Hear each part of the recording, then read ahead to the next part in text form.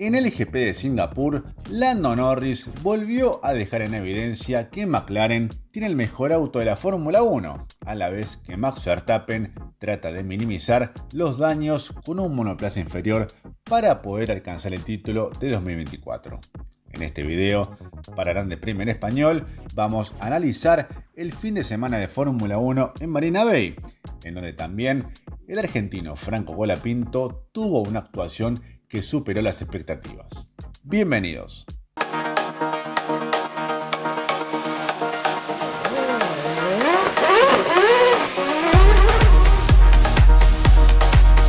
Tras superar a Red Bull en el Mundial de Constructores al cabo del GP de Azerbaiyán, el nuevo objetivo para McLaren pasó a ser obtener el título de pilotos con Lando Norris, ahora está a 62 puntos detrás de Max Verstappen con 6 carreras por delante. Y si bien el desafío parece muy difícil de lograr con 180 unidades en juego, el británico cumplió con su parte con una dominante victoria en el GP de Singapur y por delante del propio Verstappen por más de 20 segundos de ventaja. Y frente a un escenario abierto a lo largo del campeonato que cuenta con victorias de Red Bull, McLaren, Ferrari y Mercedes, esta vez fue la escudería naranja la que domina gusto y placer todo el fin de semana en Marina Bay y por medio de Norris. Líder en dos de los tres entrenamientos, el británico también se llevó la pole position por dos décimas diferencias sobre Verstappen, que mostró un ritmo aceptable con la escudería austríaca después de un viernes en el que terminó decimoquinto en la segunda práctica. En paralelo, Ferrari amaneció como un fuerte candidato el viernes, pero el sábado decayó notablemente en su rendimiento con una floja clasificación por parte de Leclerc que excedió en la Q3 los límites de pista y con Sainz que se golpeó y provocó una bandera roja. Del lado de enfrente,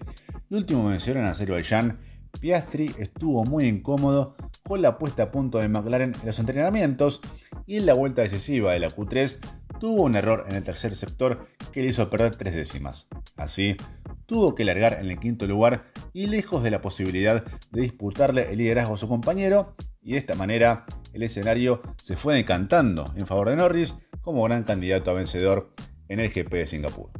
En lo que respecta a Franco Colapinto, el argentino tuvo un fin de semana muy destacado en el que pudo lidiar con ritmo constante las grandes exigencias físicas que plantea el circuito de Singapur de extremo calor y humedad. Y tras unos entrenamientos donde mostró un buen ritmo de carrera, el argentino quedó a las puertas de la Q3 en la clasificación, al quedar a 7 milésimas de su compañero Alex Albon, que portaba incluso mejoras en la suspensión de su Williams, y apenas a 31 milésimas del décimo ubicado en la Q2, Fernando Alonso. Ya en domingo, la adición de una cuarta zona de DRS no impidió que hubiera una carrera lineal, y donde gran espectáculo lo dio el propio Colapinto al superar a tres autos en la largada, que hasta llegó a provocar un enojo inexplicable por parte de su compañero de equipo Albon, por lo que el tailandés pudo haber considerado como un exceso de audacia.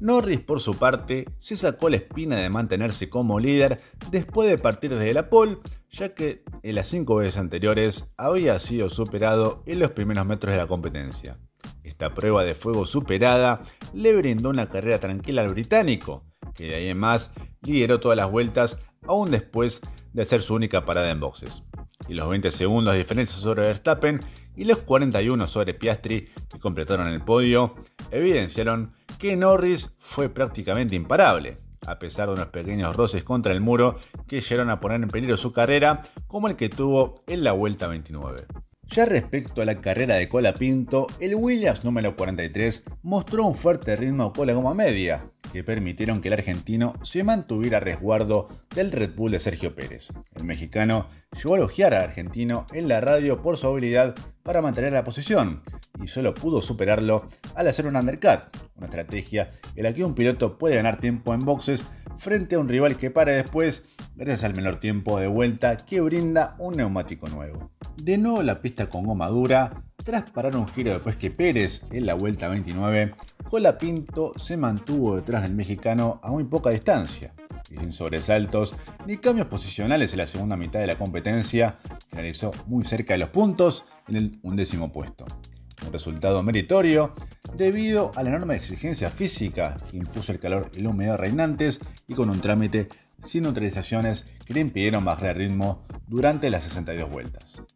Como párrafo aparte, quien se quedó con la vuelta rápida de la carrera fue Daniel Richardo, que no sumó puntos por haber terminado en el fondo y que tenía como único objetivo quitarle el punto extra de récord a Norris en su lucha con Verstappen por el campeonato. En lo que parece ser su despedida para ser reemplazado por Diaz Lawson en RB, el australiano terminó en lágrimas al comentar su carrera, con la cabeza en alto después de 13 años en la máxima categoría del automovilismo. De cara al futuro, después de su aventura por el sudeste asiático, la Fórmula 1 tendrá una pausa de un mes hasta que llegue al continente americano para celebrar los GPs de Estados Unidos, México y Brasil.